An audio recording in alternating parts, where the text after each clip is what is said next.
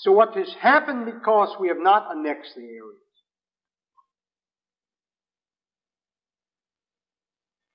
In the sight of the world, Israel is a thief, an occupier, and the Palestinians, uh, these poor people, are martyred, little children who are, are being killed.